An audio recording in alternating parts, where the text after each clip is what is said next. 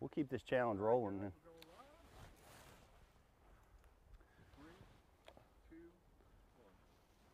And we're back. Here on Bass UTV Live. Welcome back, guys. A little technical difficulties. Glad to have you guys back with us. I'm very excited that you're back with us. Excitable kind of guy, you know what I mean? We're coming up on our first good stretch of lily pads in the canal. I feel my hand wanting to reach for my jig. I'm pretty sure it's going to. Yeah, I'm amazed at this little. This is a, this is honestly the first time I've ever fished a Ned rig. Uh, I've fished versions of it, but this is a Magnum Ned rig. This is one of JT's uh, killer go-to baits. He, we, we did we filmed him teaching us how he uses this bait and where. Uh, you're going to see. We're going to release that on Bass TV here in the next few weeks. But I, man, I really like how it's able to come through this cover. It glides. Well, it, it seems to. it, it's a profile that, that I don't think the fish see a whole lot. You know what I mean? It's a Mhm. small bait, but it's fat. You know what I mean? Mhm. It's it's just a, and it just it, it could be it could be a, a mud minnow, it could be a crawfish. You know, down here in Florida, it could be a it could be a grass shrimp. I mean, it could just it kind of mimics so many different things. You know that you never. I mean, it's just I just can't tell you how, how many times that thing has saved me. It's one of those deals where it's not something you typically start out with, but it's something that when everything's going south, you can pull out and still and still get some bites. Um, I'll tell you another place where it really shines is really high pressured places. Right. You know, I did really good on that um, last summer in a tournament on the James River. And you know how everybody goes down the Chickahominy and fishes all those lily pads and, Mhm. and all that kind of stuff. And, uh, you know, I, I was going right behind people that were flipping creature baits and jigs. And, you know, that's the thing about those opens in, in a small place like the Chickahominy River where you get 200 and some, you know, pros and they're all out there, or so-called pros anyway, and they're all out there uh, setting the hook on those fish for five days before the tournament Yeah. starts. You know, those fish, they have seen a lot of stuff by the time the derby actually starts. hmm They have seen a lot of stuff. Yeah, that So- that Chickahominy is small. It just it really does so feel the pressure, doesn't it? Man, does it ever. driver question. Pete. Grant Abrams from Florida. When a front blows through and the air temp drops 10 to 20 degrees, what things do you automatically change in regards to bait size and retrieve speed? That's a great question from Grant uh, about when cold fronts uh, attack down here in Florida. How do you It change an baits? attack too. isn't It is They attack. attack us. they do. We are under attack, man. We Yes. are under assault right now. Right. And and you can see the, the you know some of the things that we're doing. One of the things that you know JT recommended that I throw and I fish behind them is a is a really small profile, subtle, more finesse bait. Um, and I'm, you know, I'm fishing it low and slow near the bottom. I'm certainly trying to, you know, draw strikes from what I would consider fish that are lethargic In a negative mood. in a real and this is a negative condition, right? We've got Oh, yeah. we've got falling water temperatures, uh, and, rising barometric pressure. and rising barometric pressure. These these this is a classic cold front scenario. So I'm fishing low and slow. What what are some of the things you do to get through the cold fronts down here? Well, for one, is is I'm really trying to target you know heavy, dense vegetation. That's what I'm doing. I got a heavy jig on, and I'm trying to put it, you know, in the lily pads where you're where I kind of want you to kind of be with that smaller bait on the outside edge a little bit in case they're deeper. Mm-hmm. Um, but another thing too is is what a lot of people don't realize is reaction baits are very good. Like you'll see me today. I promise over the next couple hours, you guys are going to be with us. You're going to see me picking up a, a rattle or a lipless crankbait. You're going to see me picking up a jerk bait, um, stuff like that. And a lot of times, uh, believe it or not, reaction baits will be really good. So e- either small or reaction. or reaction or something in the thickest in the thickest cover you can find. You know, I'm just plopping that jig just right in the middle of those clumps of lily pads. Great great question. Now we talked talked a little bit about fishing pressure, you know, at that open. I think uh, that's one of the really uh, fun and exciting things about uh, the new MLF events is that there's there's less competitors. There's going to be less fishing pressure. So we got to figure that the the lakes are going to really show out. The lakes are going to show out better, and we're not hauling them all back to a weigh-in site. Mhm. We are catch, weigh, and immediate release. So we're not bringing anything back. So you catch a fish, he's going right back to right back to where he was. Um, I think that's going to be really key to to really showing off some of these lakes. Grant, great great question from the Bass University IM board. We're going to send you a prize. All you Hopefully it's guys that are something awesome. What's that? So hopefully it's something something awesome. awesome. We'll just cut something off of JT's deck and, and Yeah. mail it to you. Hopefully it's something awesome. Because we don't know yet what's awesome today. We're not sure. You know, one of the things, Pete, about this this canal, I've fished this canal a lot. This canal in particular is you might go for 400 yards and not get a bite, but then you'll catch 10 in the next 100 yards. You know, it's like they seem to be in just little stretches. Typically, Yeah, that, where we started is usually one of the good ones, but we don't know yet. I mean, I guess that would make sense. You know, these fish have got a school and, and maybe push bait down down the canal and stop in feeding areas, or maybe they just sit in an area waiting Yeah, for the bait to come by. right. It's really, you know, other than the, the, the shoreline cover that we're that we're fishing, it's really pretty featureless canal. So there's really not that much stuff for them to to do. You know what I mean? Mhm. And Florida fish don't typically suspend like northern fish do. That you know, that's. I mean, I'm not saying that they don't, but you know, chances are they're somewhere between us and the bank.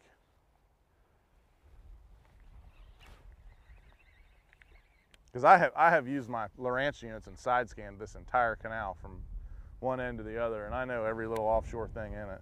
And there's not much, I can promise you that. It's very featureless. Well, we are experiencing one of the, and it's not much of a feature, but we do have an outside. We're on the turn. The turn. The, The only turn in the whole thing. We're on it right now. and for some reason, this area usually is really good. And maybe it is because it's the only feature that there is. So if you're going to fish these types of canals, I mean, we've already talked about it. Uh, you know, you're going to look at anything that's different, any kind of change that you can find. Yep. Like the pads got thicker here, so that's a that's a change that we're keying on at the moment. The canal has an outside sweep here, Yep. which is is different, and and we're going to key on that. And uh, we we uh, we were looking at some culverts earlier too. Yep. Anything, you know, in, in these, if you if you do any kind of fishing in these man-made canals down here, like we were just saying, there's not that much stuff. So anything that's different, no matter how minute, it definitely could hold some. You know, just a little pump house station. Right. or any anything that's different in these little canals can really you know really hold some fish a lot of these canals are really good too it's it's amazing that you know they, they don't they don't get fished that much um, and, and and a lot of them are really good for what we're doing today like you know let, let's not sugarcoat it for the guys hey we'd much rather be on stick marsh Mm-hmm. Farm 13 on Garcia. We'd much rather be there than here, but hey, it's blowing 20 to 30 with gusts to 40 is exactly what the Weather Channel said this morning, and it's doing it. So, you know, but that's going to happen sometimes. So it's mm-hmm. cool to have these little canals, these little areas like this that you can do this. You can at least get out of it a little bit. Like like the big stick marsh. Like there's there's no way we could even be out there right, Right. now. It would be dangerous to even be out there. White caps, Oh, stumps. I promise you. White caps and stumps. That's a fun combination. Yeah.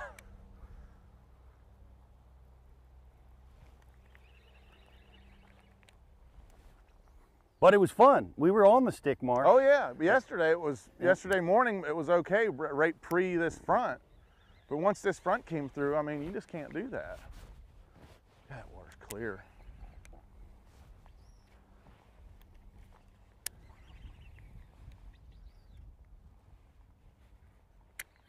You hate when you pull on something like that and it gets your braid hung up and you keep trying to flip and it keep catches down in there and you're like, I thought I got it, but obviously you didn't.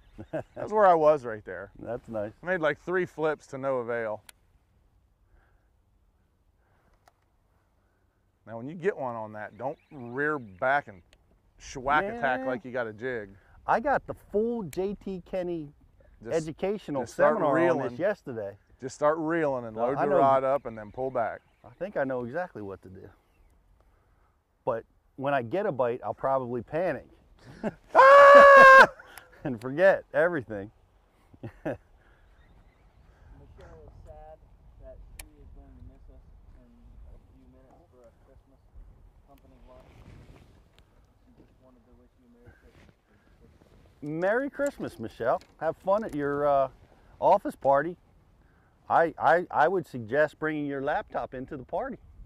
Set it by the punch bowl. On, Right, a pers- JT? on a personal note, Michelle, I love to party. So that might be a. J.D. Bailey wants to know where we are. Uh, he might mean really specific waypoints. I'm not sure. I don't know about specific waypoints. We're in the C54 canal at the south end of Brevard County. Um, we're on the turn. The turn, because there's only one turn. turn. We're on the turn. Somebody ought to put up a sign. Yeah, the, the turn. this is the turn.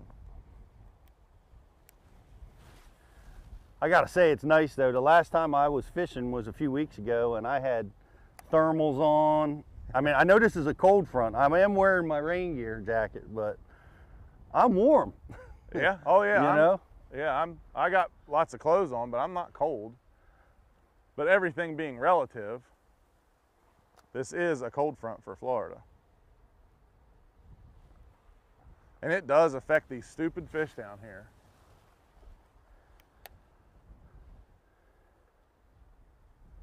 I mean, it affects cold fronts affect bass everywhere, but these these Florida strains they really do.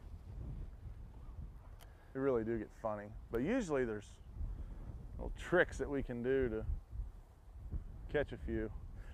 yeah. I mean, when we're dealing with smallmouth and northern strain largemouth, they they're they seem to handle the cold They front a lot better, guys.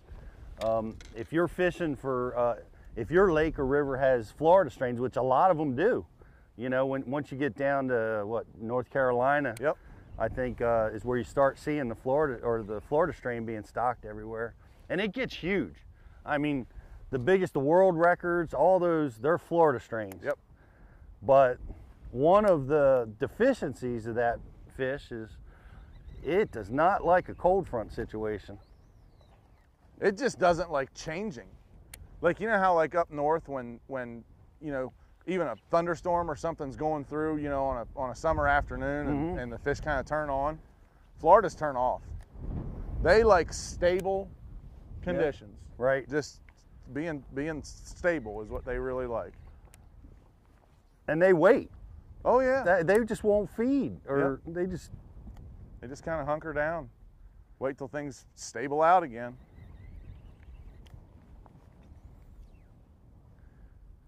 And a lot of times, like when these cold fronts come through on our lakes, it might not really drop the water temperature that much, but I think it's just simply the system coming through. Like they just like stable conditions. Like when you get a week where it's just supposed to be every day, it's supposed to be 73 of a high and Mhm. 58 for a low, they like it.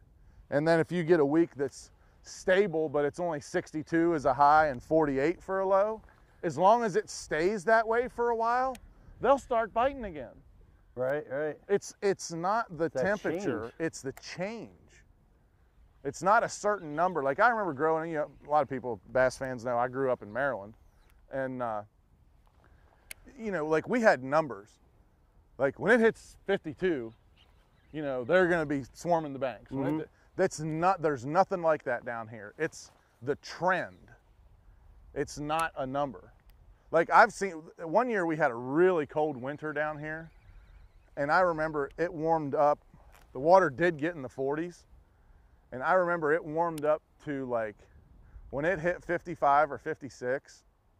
They went crazy on uh, toads and like you know top water uh, swim bait type things, you know, like Gambler Big Easy, Skinny Dipper type stuff. In Florida, in 55, 56 degrees, they went crazy on topwater stuff. Absolutely ballistic. And you would think that's too cold. Sure. But it had been That for a while. 45. Right. So right. it warmed up 10 degrees. So you would never think at 50 some degrees to throw that kind of stuff down here. Not in a, not in a million years. Michelle's asking a question, so she's still with us. If if you're pitching with a one ounce weight or better, do you have to change your hook set to get it through their mouth? with a that's a great question you know and and uh, michelle asked if you are fishing with a one ounce weight do you have to change their hooks your hook set to make sure that you that you get hooked up on the fish. I don't think so with a one ounce. And i don't know what your opinion is pete but i think with an ounce and a half it's imperative to change your hook set. I i do for sure. And what I have, well, well, tell me about your hook set, and I'll tell you, uh, you know, what I do with it. I think when you start getting in those in those bigger weights, ounce and a quarter, ounce and a half, it's very very important to initiate the hook set with a tight line. Um, and and why I think that is is if you, you know, it's out there and and, and you get a bite and you drop slack and hit it real hard like that. I believe that you're blowing that fish's mouth open With that With- big fat weight. with that big fat weight and it pops his mouth open and then the hook goes screaming out without hooking the fish in the lip. So I think when you get a bite with a big a big heavy weighted, you know, whether it's a Texas rig or a jig or whatever, you need to quickly but reel up the slack and start from your rod level with the water. And I still pull hard but I, I start it from a from a, a tight line. Not necessarily a super tight line like you don't want the fish to feel you hmm but but you definitely want to initiate the whole swing so to speak the whole hook set with a tight line And I agree with you, JT. And Michelle, uh, I know you were watching yesterday, but go back to yesterday's live footage, uh, maybe three quarters of the way through yesterday's live. And it, it, what, 27 minutes in? 57 57 minutes in. Go to that. All you guys, go to 57 minutes and you can see JT's hook set, exactly what he just described. You will see it in action uh, within, that was an ounce and a half, right? ounce and a half yep um, in a mat, in a hydrilla mixed vegetation mat, and you can watch exact. I mean, it was textbook uh, technique performance. How he set the hook, how he, how you lean on that fish, and allowed the mat to separate and pulled that fish up and out and clear. It, it was uh, it was well executed, and it's all right there for you. You can see that. But that's a great question, Michelle. Thanks for staying with us. Michelle gets a prize. ta-da Well, I see, I see a lot of the stuff that I wrestle with down here, and, and when I say wrestle, I mean it. Like the alligator grass oh yeah and the, some of the Kissimmee real thick stuff. One of the problems that I've had in Florida fishing is do you set the hook and hold and go in after them, or do you try to get that fish up and out of those really dense alligator grass scenarios? Because alligator, grass, Alligator it's so tough. You tough. can't you can't break it. You It- know. Yeah, it, it's. I've lost a lot of fish in, in gator grass. It's it's definitely tough. Um, most of the time in the softer grasses, you know, the the eel grass, the hydrilla, um, if it's a big fish, he's got enough to get himself out of there. Like very rarely does a big fish, I, I'm talking about a six plus, Right. get hung up in the grass. You know, I fished with so many people down here, and they're like, "Oh, it's a big one," you know, ah," and, and I'm like, "It's not moving. It's probably not." Right. Right. You know what I mean? You get up there to it, and it's a two and a half pounder balled up in the grass. So, but a big one, I mean, it'll it might get balled up for a second, a second, and then it, you know, takes off again. I finally had a bite. What you got? Is that was that Letting a rattle trap flutter down? flutter down. Not a rattle trap, actually. It's a red eye shad. Something bit it. So a big fish will. A big fish will usually get itself out of there. Okay. So you just hold on real, let that fish work its way through the Right. vegetation on but, a big fish. But but Gator grass, unfortunately, is a whole different animal. gator grass, you just kind of gotta. And, and the the thing with with gator grass is you lose a lot of big fish in gator grass, and the reason behind that is they pull so hard wi- with the line being uh, caught up in that gator grass, and the gator grass won't break. So now you have a six, nine, whatever pounder on that much line with no stretch. Oh, we got one. Oh, How about that? open oh, Pete, pads. Open the pads. the magnet head strikes the first fish. That's a Florida strain. Little baby Florida strain. I don't know if you guys can hear me okay. I don't think my mic's covered, but that's a little Florida strain. I've been pitching into uh, really kind of keying on these pads where the, the stems, you'll see the pads mat up, but then the stems all come down to the plant root system. And I've been kind of trying to key on that, and that's where this one came from right here. Thank you, buddy. I gotta, and we gotta take notice that I did not receive a fish handling penalty on that I, fish. I did notice that. but you know what else I Shout out to MLF. what else, Pete? Was remember how I said you'll go for a long ways in this canal, Yep. and then you'll get a few bites. Well, I just missed one on And the lipless crankbait, And I just, and within yeah. two two pitches of you, uh, you know, you just you caught that one. So we might be in a little a little area where there's a a few of them. and I and I and I do have to admit, I um, I I I totally forgot what I was supposed to do on the hook set, as predicted. I was gonna let you go on the first one, but if you do it again, you're gonna get a two-minute uh, non-technique following penalty. I was I was able to catch that fish, but you know I've got a bait casting outfit. What do I got about 14, 12, Yeah. pound test, and uh, and it's a light wire hook, so It's a light wire, but on that one in particular, it's not as light as most of the regular Ned heads are. It's a little bit heavier.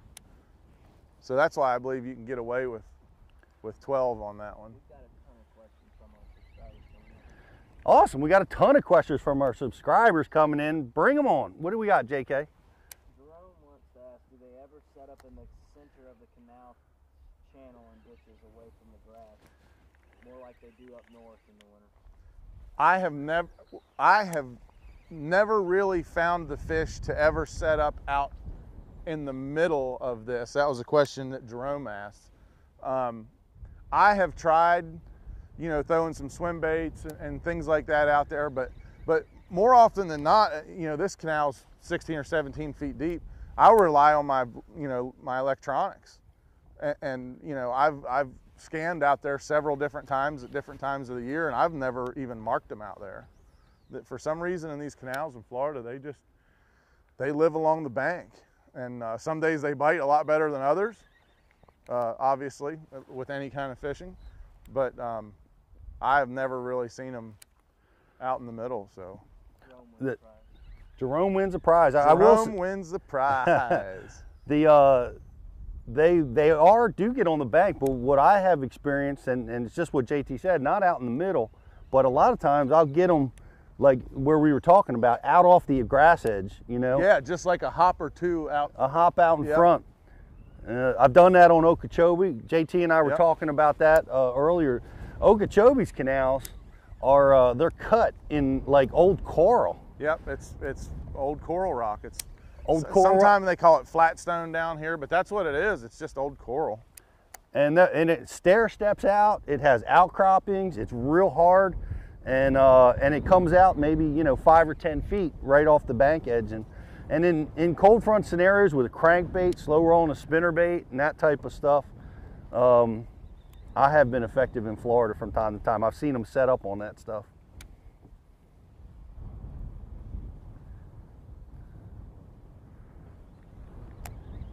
Robert wants to know if there was no cold front today, where would you fish and why? Great que- question, Robert, from our uh, IM board.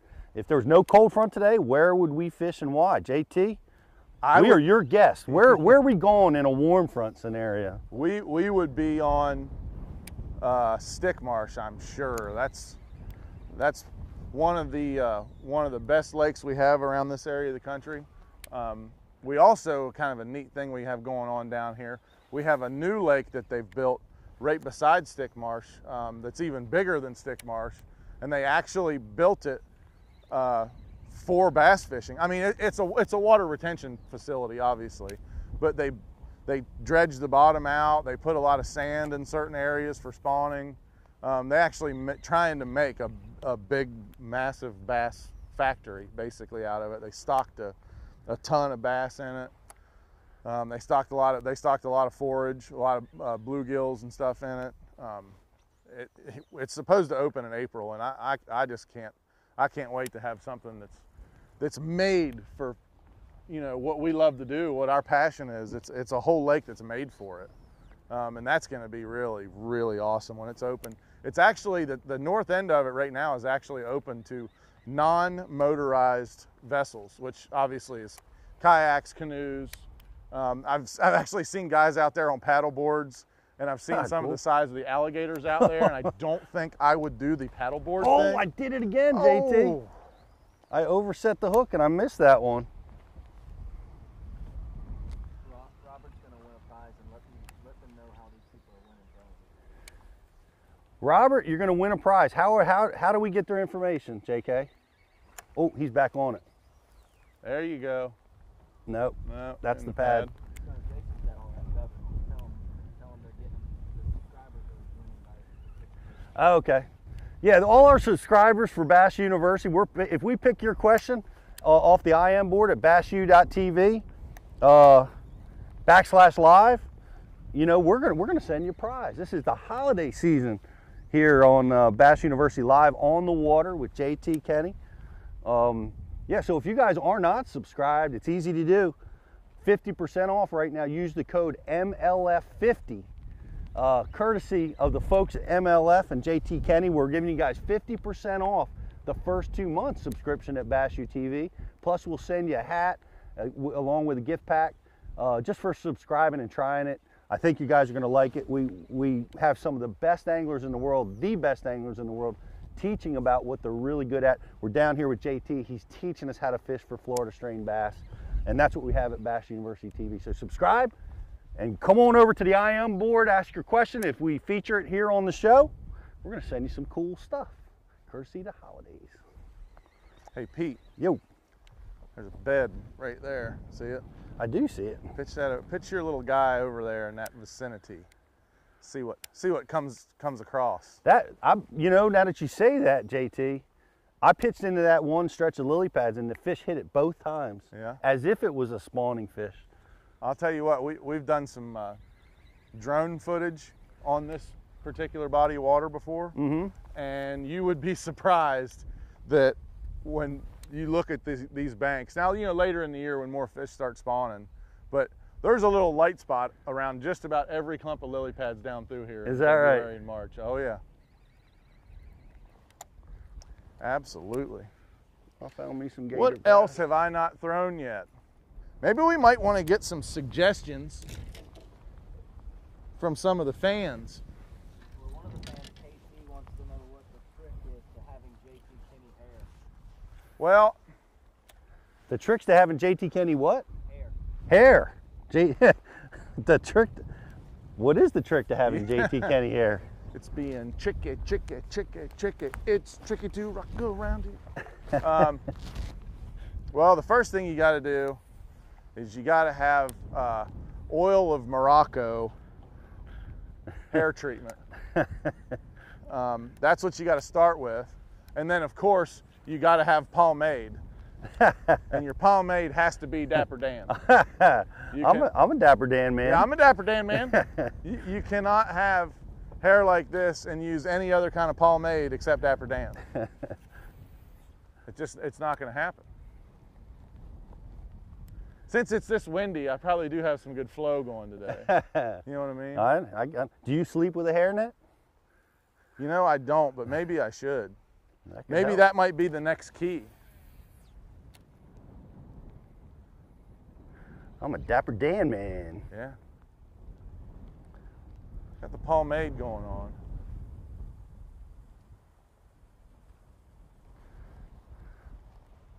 I heard that line tighten up. I thought maybe something had happened again. Today we were talking about uh, the. It was a great question about where you would go in a warm front. What you said something that was really cool about telling your friends when you want to come down here to fish. You travel down during the cold front. Yeah, that's absolutely correct. You know, and we had talked about this a little bit yesterday too. But if you're wanting to come down here to the Palm Bay area and go fishing, and and you have the ability to be a little bit flexible, and you want to come in in January or February, the optimum time to come down is when you see a big cold front hitting down here. Load up and start coming down just during the front or right after the front. And if you're going to stay for four or five days, you're going to hit some great fishing because the best fishing, these cold fronts actually set up the best fishing.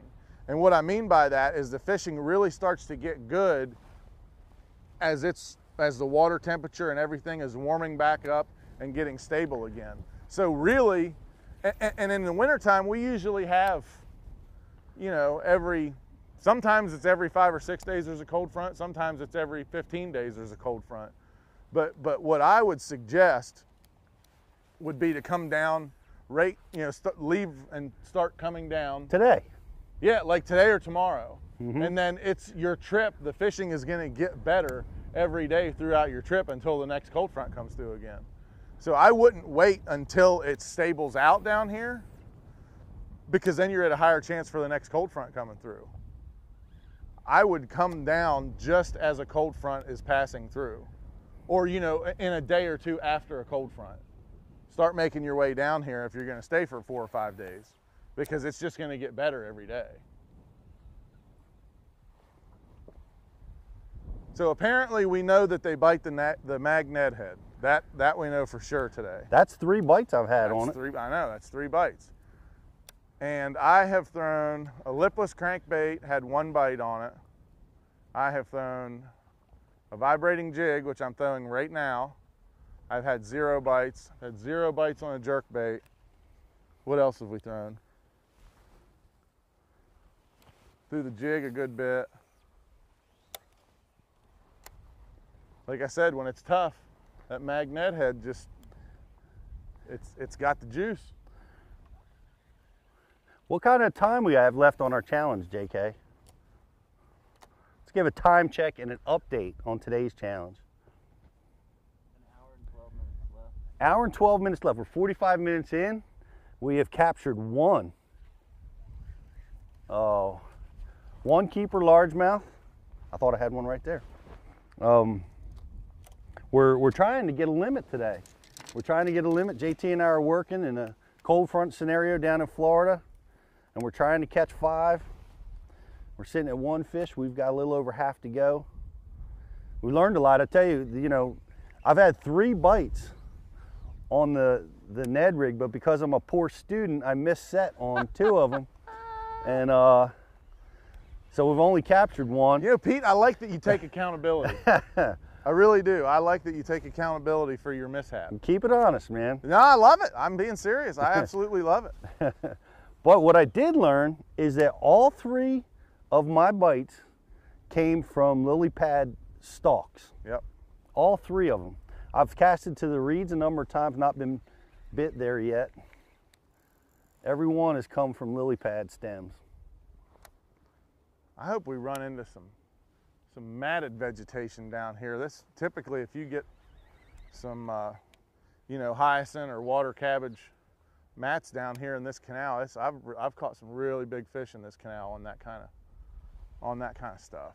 Well, now that you mention it, we're not seeing it. We're not seeing it at all. They must have recently sprayed it. And let's let's talk about that a little bit because it's you know I read in the Bass Blaster just uh, just this morning about Marianne down at um, what's the name of the shop down there? Roland, Martin's. Roland How could I not Marina. remember Roland Martin's Marina? The uh, Marianne was talking about the excessive spraying that she feels might be happening on Okeechobee, and I, I feel the same way, Pete. I really do. I think there's uh, I think there's something in the hen house going on down there that there's a little bit too much a little bit too much spraying going on and I feel like we're gonna we're gonna find out about that real soon. I think there's some some departments working on some stuff to maybe get get this spraying under control a little bit because there's no doubt we need down here in Florida with the invasive species like you know the, basically really the floating is, is the problem the water hyacinths which bass love and, and the and the water lettuce or the water cabbage um, but if we don't spray that it will take over waterways like, like we have we have a waterway right now in Palm Bay that was is another lake that we would probably have fished this week that there's 500 yards of completely choked up hyacinths that you can't get through to access the lake. Mm-hmm. Um, so we definitely do need some spraying, but there are some places in Florida that they are ju- they are taking it to another level, man. Like it's just ridiculous. You know, you'll see bulrushes sprayed. There's no sense in spraying bulrushes. That's you know ridiculous. Last time I was at Okeechobee, I saw half a mile of just bulrushes, just brown sprayed. Sprayed. Wow. Like that. I mean, that's the, the bulrushes. They're not going anywhere. They're not hurting anything. They're helping.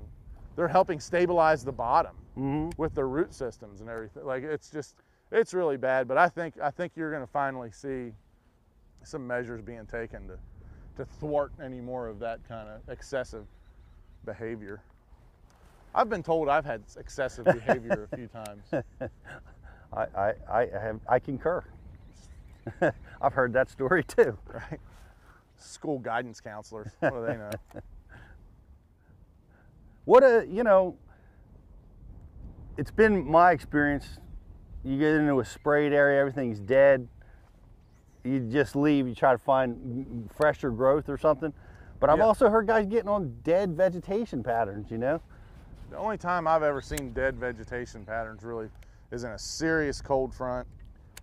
Um, Where it makes a mat, maybe. Yeah, and it, and it mats stuff up, and but but most of the time, here here's one of the things that I think, and sometimes I find myself that maybe fishing or thinking a little bit more on the conservation side, maybe more so than than other people do sometimes. But here here's what gets me about spraying. Let's just use Okeechobee as, a, as an example. So the bass love the vegetation. That's what they that's what they hide in. That's what they rear their young in. The young has to have vegetation to, you know, to, to be able to hide in so it doesn't get eaten by something and, and get to be able to grow up. So if there's, say there's an area, just, just take the monkey box on Lake Okeechobee, for example.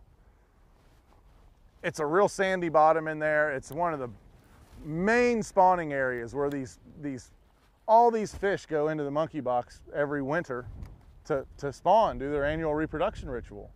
Well, if they all these fish go in the monkey box, but there happens to be a bunch of hyacinths in there, and and Applied Aquatic goes in there and sprays those hyacinths, well, what happens is it it, it doesn't kill the fish, Mm-hmm. but it moves the fish. So now the fish have moved to an inferior spawning habitat, and we have a bad spawn. Right. So it is hurting the fish by doing that. Um, like I said, now I know they have to spawn. They, they, they do. I just made the example of there was there was a lake we probably would have fished this week that we're not going to get to fish because it hasn't been sprayed. And but there has to be some balance. There ha- you know what I mean? Like like I can see them spraying an area in the wintertime that's not a the biggest largemouth bass spawning area on the entire lake. Like that should be they can't they can't do that. That's what I think. There should be some areas that in the Just protected. in the wintertime you can't do it because you're moving the fish.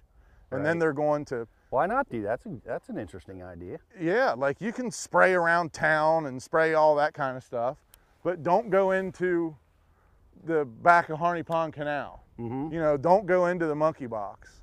You know, don't go up around, you know, inside King's Bar up there at the top of the lake. Like, you know, all those big spawning areas, you just you don't do that. I mean, like that that's so easy. You could just solve it just like that. Right. But yet there's so much bureaucratic bull crap. I cleaned that up for everybody just so you know. Appreciate it. We are rated PG here at uh, Bass University. I, I'm I'm I'm R rated. I'll be PG today for Bass U TV, but just so you know, I'm R rated. Oh, are, is that is that true? Is it MLF? Uh, is they're going to go PG thirteen? They going I- R or they going TVMA, mature audience? I guess we're just gonna have to find out, aren't we? Do they have a delay? Have you discussed that with these people? Well, I'm sure I'm gonna have some Bleep. miscues and missteps along the way in my new profession, but I think it'll be okay. Robert again, who's more applies on that question. We like Robert. We want to recognize him as a long-time subscriber. He's been with us since the first year of Bass U TV. Robert's been with us since the first year of Bass U TV. Thanks for being with us, Let's, buddy. let's give Robert let's give Robert a round of applause. Round of Thanks, applause. Robert. Thank you, Robert. I believe that makes you a graduate, Robert. You may be. You're a, my boy, Blue. you may be a master's. You may have a master's with us. I'm not sure. He wants to know, is there a certain forage you are trying to match with your lure selection? I imagine he right now. I I would imagine the question is: Is there a certain forage that we're trying to match? And um, you know, JT explained to me about you know what this Ned rig may represent. Some of the local minnows and what are, what are the minnows that live around here? And So we have little- we have some little mud minnows that live around here. Um, we have a lot of golden shiners. Um, there are definitely crawfish down here. There's definitely shrimp in this particular canal. Um, saltwater shrimp. there is fresh and somehow there are some saltwater shrimp in this canal too. What? I'm not 100% sure how they got in here, but I've seen them with my own eyes. but there's definitely the smaller freshwater shrimp um, that we have everywhere in Florida. So, and I have years ago I saw some schools of shad in this in this thing. I have not seen them lately, so I don't know. But but basically, yeah, we we got Pete throwing the ringer back there. What we what we know they're going to bite the magnet head. Um, and, and, if, and if you've been watching for the for the last hour, I'm going back and forth with every lure I can think of that typically works pretty good in the wind. So I'm not necessarily trying to to mimic any one thing. I'm just trying to find that trying to find that pattern of the day, you know. And, and I think these fish in Florida, other than around the shad spawn, um, I think these fish in Florida are very opportunistic. You know, they just something gets in front of them, you know, and they're ready. They're they're going to bite it. I don't think they care if it's a, a shiner or a shrimp or a bluegill or Yeah, I, I, agree. And, uh, you know, sometimes you can get caught up matching the hatch. Sometimes matching the hatch is the, Oh, is awesome. is, the deal. Like Yeah. in May when you have a, a shad spawn going on, you're not going to catch something on something that looks like a crawfish. You know what I mean? Yep. It's just not going to happen. Whether you're in Florida or I don't know, Lake Norman and you know uh, North Carolina, I don't care. You're they're on shad, they're on shad. But from my experience in Florida in the wintertime, they're they're just opportunistic. You know, they're they're there to they're there to feed. They're gonna Pete Robert has his doctorate with us on the forum. You know, Ah. Pete, Pete Robert is, Wow. is considered a doctorate. What we do is we uh, we assign, you know, if you're new to us, you're a freshman. right. Every six months, you get upgraded to a sophomore, junior, Wow. bachelor's, master's, and So- doctorate. So the Bass U TV, you, you you can complete basically complete your training in one year. That's that's that's Well- that's a, that's an accelerated program. Well, he's he, Start putting it on their resume. I'm telling you, Yeah. you know. Because I've been at it for 40 years and I can't really figure out. Well, I think we may we may give you an honorary degree, JT. I haven't figured out everything I need to know yet. I, and that's the cool thing about the sport is it's it's constantly changing and and one of the interesting things about MLF I think is the guys are, on, are over there are, are now going to be under a new Completely different. format, right? They're going to be forced to create um, different techniques, different ways to trigger strikes, different lures possibly, uh, different strategies on how to catch fish. So Strategy is going to be a big one. We're gonna we're, we're gonna see the sport change upside down potentially. You know. Oh yeah. No, I think with the every fish counts deal, it's going to be definitely different. You know, and something that, that you said about changing, you know, I've seen in my tenure as a bass fisherman, I've Ugh. seen a I'm lot in trouble of. here, JT. Uh oh. Uh oh. Pete, Watch it. Look away. I'm on the wood, brother. We got, we got. Uh, I don't think I'll be able to get it. We got more of them. We'll just put you another one on. Or I don't know if Pete wants to switch to something else. That's the only thing we've got any bites on though, so I don't know.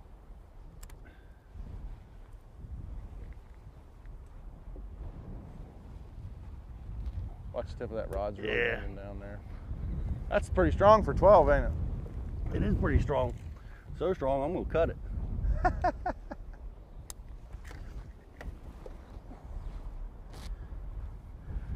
We've had some bad luck here at Bass University with treble hooks in our head, and Yeah. None of that's ever happened to me. you know, that's uh, that's I made that up, right? where where where have you been? Give us a good getting hooked story. Oh, I have been hooked in the head. I have been hooked in the back. One time I stitched my fingers together with a topwater bait like this. That was pretty cool. It, it, kind of had it, and, and all three too. I'm not just talking about one of the hooks. All three hooks had both of uh, two of my fingers stitched together, wow. which was fairly awesome. I thought Yeah, that's fun. by myself, and I got them out by myself. Were you practicing in a tournament? I was practicing in a tournament, yes. Yes. But I, I, I, I tried to, I got the bait off and just the hooks were in, and I fiddled with one, and, and doing it myself, it was tough to get the braid, do the braid trick, Right. and especially when two of the three treble hooks are in you. Uh, so basically, what I did is I just realized that I have a beard, hair on my chest, and I just grabbed the pliers and ripped them out and Oh. went back to fishing. So sometimes you got to be a man. So for everybody out there that's a worry wart, I did not get tetanus. I did not wipe peroxide or anything on it. I put it in the water and shook it around and just let the blood dry. And my jaw never locked up. Nothing happened. Nothing I bad think- happened. I think that whole thing is a farce. Not really, but Yeah, I don't I don't know that we recommend JT's Right, yeah. procedure, guys watching at home. it was, it was a procedure, all right. I may have said an expletive or two. Um, possibly, could that could have happened? How could you not? Yeah. You guys have one hour. One hour remaining. Apparently, I put this one down with a backlash in it earlier when not paying attention. It's a good reason to put it down. It was, but now I want to throw it again.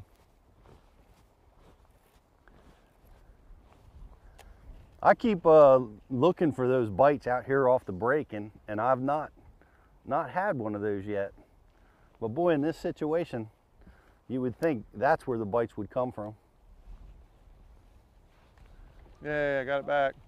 Chris H has a uh, question and he's gonna win. How would your approach change if you were just looking for that one bite?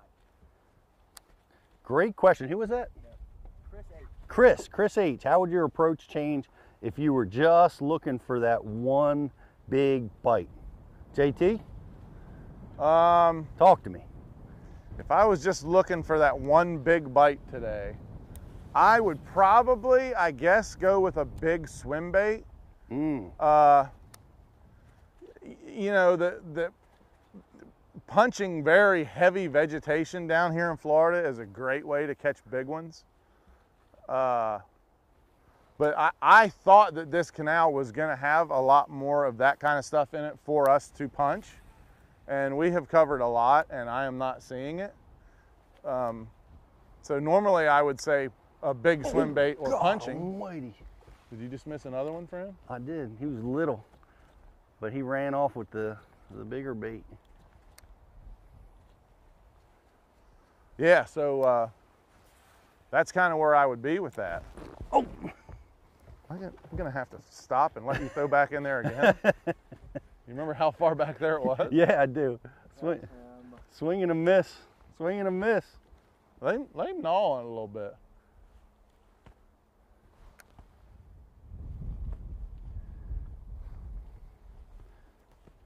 And this is the key. What JT's doing is trying to keep us in the area where that bite occurred. Uh, and oh, this time of year, there likely to be some spawning beds and some. Or they're getting ready. They're Get- getting close. they're in the area, right? So they're defensive, and where you got a bite, it's likely that uh, you know, and missed it. You know, he might have had the tail running it out of the area. Uh, you know, and that's the reason why you can miss this. But sometimes, if you go back in there, you can get them to go again. Chris H is gonna win a prize for that. Chris H is going to win a prize from BassU.tv. Happy holidays, buddy. Nope. Man, that first flip, JT, he had me around a stalk and just was running line. Yeah. like totally handcuffed me. I wasn't prepared for that kind of pull. You're not prepared for the left-handed reel either. Uh, no, I'm. I've not flipped vegetation for about three months either, so I'm try, I'm playing catch up. But I'm having fun doing it, man. I'm really enjoying being out here with you. Being down in Palm, what is it? Palm Bay, Palm Florida. Bay. Yep. Palm, Bay, Palm Bay area. Some amazing lakes down here.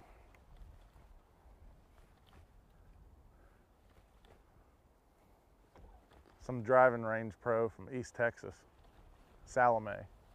Yeah, yeah. Thank you for Salome. That's right. Don't tell me you didn't see Tin Cup. Come on. the Tin Cup reference. Oh man, I missed the tin cup reference. Jeez. That's one of that's not one of my. Here's drawings. to a finely tuned athlete on the verge of greatness. That's another. It's tin either cup? Cheech or Chong. Yeah, I'm not sure. I think it was. It's Cheech that was on there. I love Cheech. He's one of my favorite actors. I ju- I just I just listened to them, their uh, Christmas about Santa Claus. I hadn't heard that for about 20 years.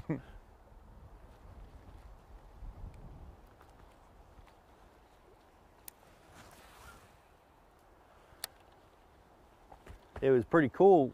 Gerald Swindle was doing a a Bass U well, I don't know if it was Swindler or not. I think it was, but it was an elf doing a, promo, a, a photo for us for Bass U Social, and he had uh, Donner and Blitzen and I think Rudolph hanging on the wall Yeah. behind him in his shot.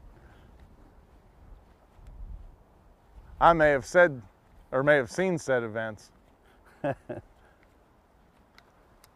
I'm pretty active on the social media scene myself. People want to follow you. How do they do it, JT?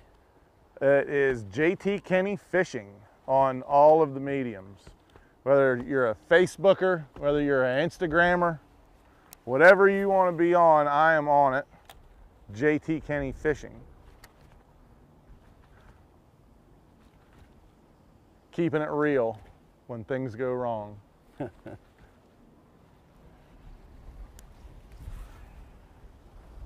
My brother. And sometimes it's not all about fishing on my social media. Sometimes it is. If you don't catch one off this pad that's out here by Oh. itself on that worm, everybody watching can meet us at the boat ramp. Be there to buy all our equipment because I'm selling it and quitting. Isolated pads out off the edge. I mean, you can tell as far as right that here. pad's out, there must be a, a shelf out there. You know what I mean? Yeah, like yeah. there's something different right there. So that, I mean, that is a just a place that one just just has to be. I think I've been patient long enough. I got to make that oh, cast. Oh, you out have there. to. Now what we got? We got a line of lily pads, guys, and we've just got a couple lily pad stalks that are just out a little further. Excellent target. Actually, cons- out considerably further than the rest of them on a bank Mhm. that's that steep. JD Bailey wants to know, JT, have you tried that new Tokyo rig? That's a good question. Who who was that? That JD Bailey. JD Bailey wants to know if I've tried the new Tokyo rig. And actually, JD, I have not. Um, I do not have a good excuse for why. I have read about it. Uh, next time I'm on Tackle Warehouse, I might have to get the proper equipment that I need and try that. But I have not tried the Tokyo rig. Isn't Ike a fan of the Tokyo yeah, rig? I, I was just going to say, Ike's done uh, some stuff on the Tokyo rig. It's available on Bass U TV, as is John Crews. And you can see Gerald Swindle working it um, live. And I'm looking at you, JK, uh, down at Guntersville. Has that been posted yet? No, we're not. We're not posting that yet. Oh, we're not posting that yet. Coming. We're gonna wait till Coming after soon. the spawn in most of the country to post that because what he's doing is actually not flipping vegetation. He's Right. doing something sneaky with it. Okay. Well, we've got Gerald Swindle out on the water with some amazing content that uh, I have a question for the Tokyo rig, Pete. Can we use it in the United States? I think I think it's legal. Okay. Well, I mean, You that's need to have something a- we need to, right off the bat, we need to establish. You need to have a passport and a TWIC card, but Okay. John Crews was with us doing doing videos on the punch shot rig. He, he didn't use the Tokyo rig, but he used his own made up version. mhm. And he was seen on, on social media saying it it played the biggest role in his top 12 at the Sabine River. So John Crews on the Sabine River used the Tokyo rig. Um, I, I also have not that Sabine River to have a top finish. Uh, I have not um, experimented with it yet either, but I'll be. Did anyone get a it top 10 at the Sabine River? I heard that was kind of a tough, tough go of it there. Usually 10, 10 guys get a top 10. Well, you actually have to execute a fish catch Right. to qualify for a top ten. This is interesting. We've got some mats here. Li- a little bit, but they're, they're, I'm afraid they're pretty shallow. Right, right. They are, aren't they? I'm, I'm afraid they're pretty shallow. If they would stick out at least out into those lily pads a little bit, I think we'd have a lot better chance. This alligator grass is, uh, It's my favorite. yes. my personal favorite vegetation to fish. But boy, the bass do love it. It is so tricky. I think they know that we have a hard time getting their faces out of it.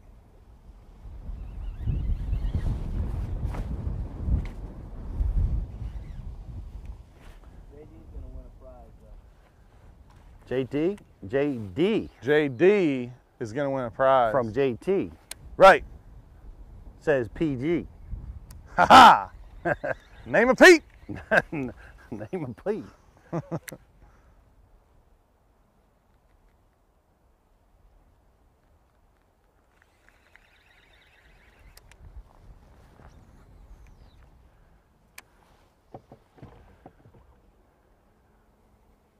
Man, You- we're over halfway through. We've got four fish to catch. I know you would JT. think. JK has a question. Can I? Can I ask All a right, question, JK's got a question for us, program manager. driver? If you got three bites on a on a Ned rig, how come nobody's throwing? You know, JK, that is a that is a damn good question. I'm, af- I'm afraid the reason for that is the Bass University doesn't have a, a hundred thousand dollar prize for the contest for the challenge winner. so, and I and I'm I'm with you. The, the question is, we've got a few bites on the uh, on the uh, Ned rig, the Magnum Ned rig, and uh, and I broke well I broke it off. So I haven't retied it. I've picked up a full size Senko that JT has rigged here on the deck, and I've I actually had two bites on this. So that's the reason why I'm continuing to pursue this. But I am thinking along those same lines that if we are going to be successful at, at a limit here, uh, Hey Dean, I have a question. we might go back to it. What's up? Why do you think I'm still throwing a jig? What? Well, I I can only think that you're still throwing a jig because you you it, we're in Florida. You know, there's big fish around here. I'm trying to knock it out of the park And with you- one. Yep. But I think with our with our our little challenge being halfway over that I better get back to the Ned rig. I might pick it up as well. Yeah. Because I have certainly tried a lot of moving baits out in front, as you all have seen. I've probably split my time up 50 50 between moving baits on the outside and this jig. And I had one bite on a lipless crankbait, kind of dropping it out off the edge. And that's been about it. So I'm going to go full Ned.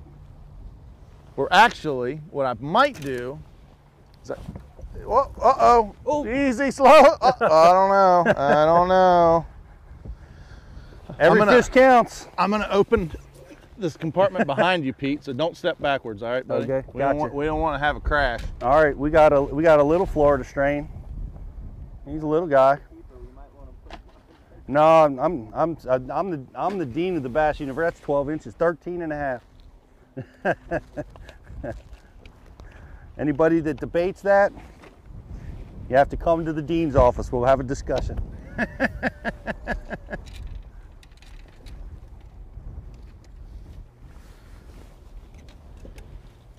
I think that might also explain why I had missed a couple of those bites, JT. You might have to take control of the vessel. She is blowing. Are you qualified, Dean, to control this vessel? I don't know. I've got a captain's license, but I don't know if it's recognized in Florida.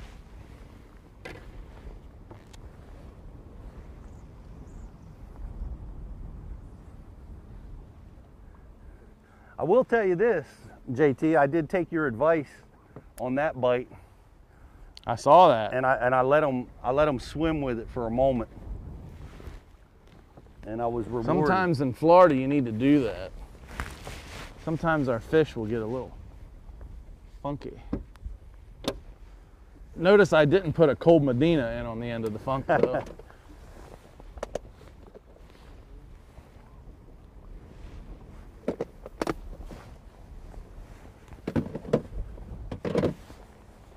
JT's in the box digging for a, I am digging for, A we have a, a gam- Nedlicious.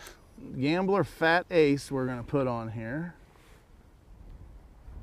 And what we're gonna do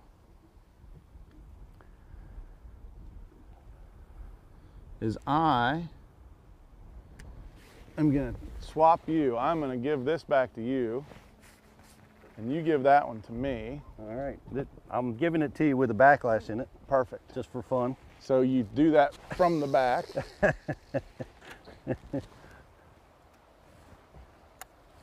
I actually got your backlash out and then created one of my own at the end of that cast. That's Just so Well everybody's just so everybody knows right now that this is not Pete's backlash I'm picking out. I freed Pete's. This is mine. Everybody everybody watching at home to be aware of this.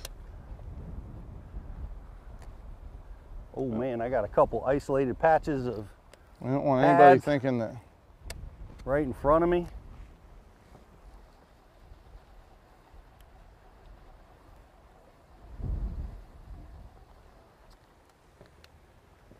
See a couple bridges up in front of us, JT. Yeah, we do. The first one, well, actually, both of them are I 95. Do Florida strain fish use bridges like they do in other parts of the country? I have only seen it one time in my tenure, and not much any other time. Florida strain crappie, however, enjoy finding themselves around bridges.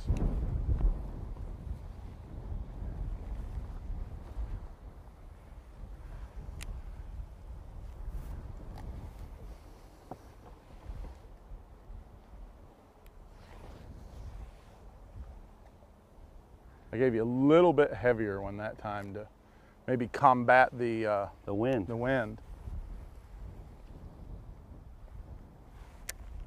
Not really matching the hatch as far as the bait, we're matching the conditions as far as the tackle. Sometimes is just as important. You know, like we're throwing a 5 16ths on your your uh, magnet head right there. Like typically, I would never throw one that heavy if you're only fishing in say two to five feet of water. But when you have a 28 mile an hour wind at your back,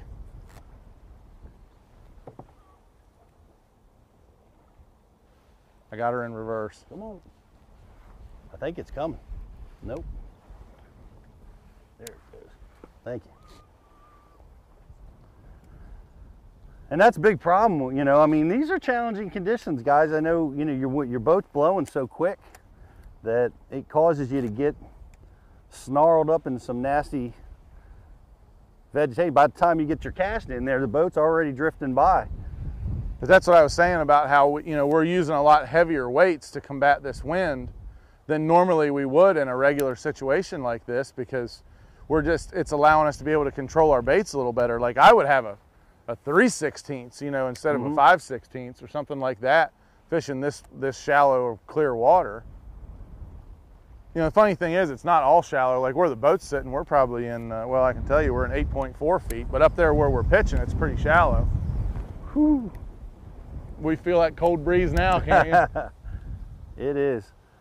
It's When you get a chance, Stefan would like to see a close-up of the Stefan would like to see a close-up of the Mag Ned rig with a 5 16th ounce. See if I can hold that for you, Jeff, so that you can see it. It's uh, basically a six-inch sink stick bait. Uh, this is uh, what is this? A gambler? Gambler. Ace? That's a gambler fat ace in This is a fat ace, In six half. inch, cut in half, on a 5 16th mushroom head, little weed guard. Whose jig head is this? That's a Nichols. That's a Nichols That's jig a head. JT Kenney Signature Series Magnet head. Outstanding. Shout out to Stefan. How are you, buddy? Bass University uh, subscriber, Is he alumni? helper. He's been with us a while. So he would be alumni, I guess. Alumni is a graduate. So, so do we have any alumni at Bass U TV? I think the guy that's a master's is.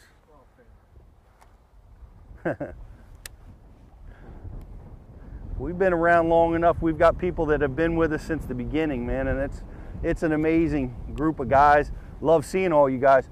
If uh, you guys uh, haven't had a chance to look at our classes, go over to thebassuniversity.com.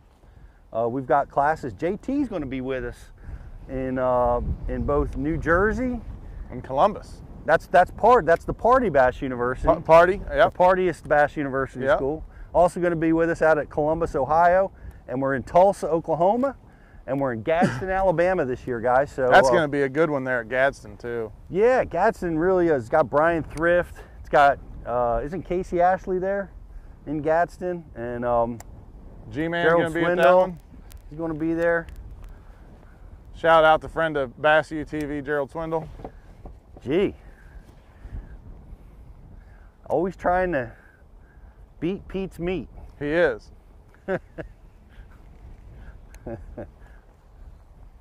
I don't know why. the, ah, the, the content. Oh, he's talking about content. I thought he was talking about your big fish. I, I, can't, I can't follow him all the time. I don't no, he's a pistol. He's hard to stay up with.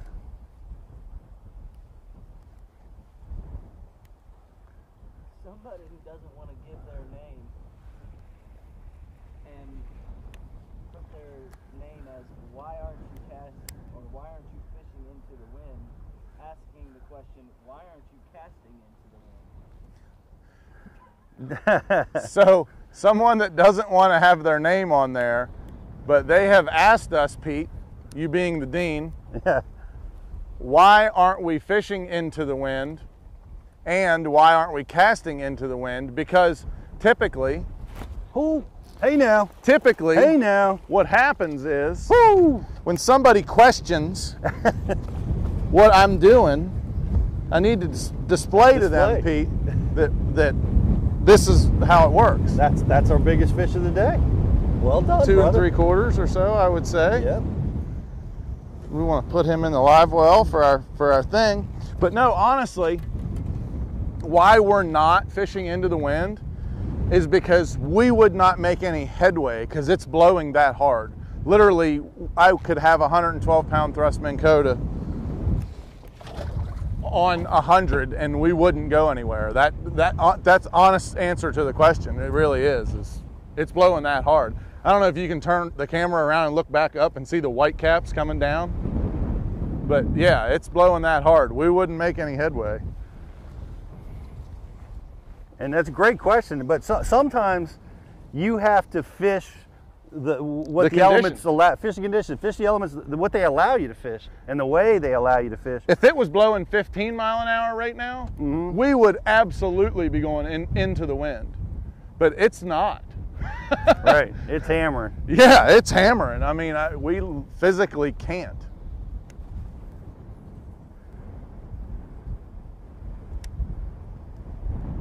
And one of the other things that you run into, and you, like this wind is just really ripping and gusting, probably 30, 40 right now. And we've just ramped up. We're now drifting at a probably 10 miles an hour, maybe not that fast, but we're ripping. Oh yeah. Um, when it's blowing this fast, if you try to turn into it, what'll happen is it creates a tremendous amount of noise. Uh, your troll motor is now ripping, your boat is slapping up and down with the waves, and and it really can be, uh, you know, a, a really racket machine that that's hard to manage. So sometimes drifting is the way that you have to do it in these types of conditions. And Pete, what most people probably don't realize is that I got my foot on the trolling motor in reverse. Right. I'm slowing our drift down and we're still flying. Whew, it Like I can't really even get a hold of my bait to pitch it again.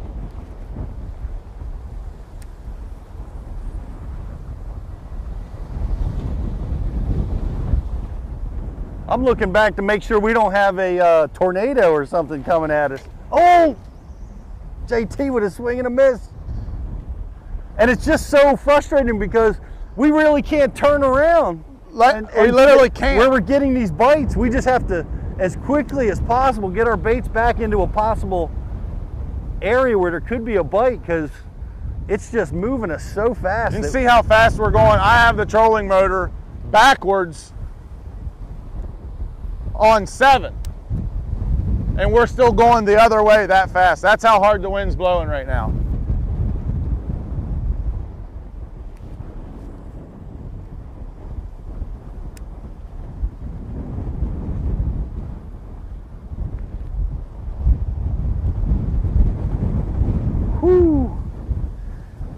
It's blowing the lily pads under the water. Yeah, the lily pads are actually under the water. They're disappearing on us.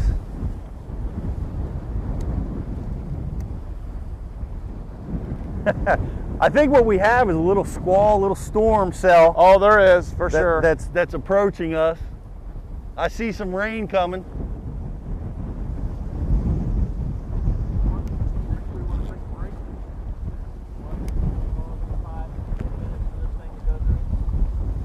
I what is that what you want to do? I'm talking to my uh I mean, I'll keep fishing.